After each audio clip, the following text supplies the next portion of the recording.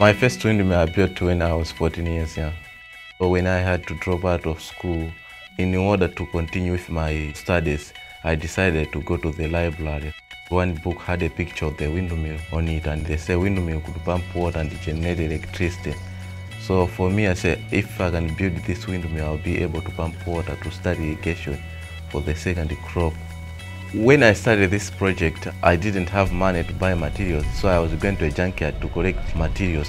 And also I didn't have tools to use, so I was just using any tools I found. So it was a slow process to build that windmill. The future of power in Africa right now is all this um, uh, renewable power. There can be wind power, solar power, and even hybrid power. But a lot of kids in Africa see zero opportunities for them in the future. And so I think seeing William, uh, they think that, wow, these things are possible. This is an African guy like me, and his family was starving to death, and he did this. What I can say uh, to the young people like me is that even though a lot of people around you, they'll be saying different things, but if you work hard and then you trust yourself, you believe in yourself, uh, you achieve what you want to achieve. Everything is possible in life.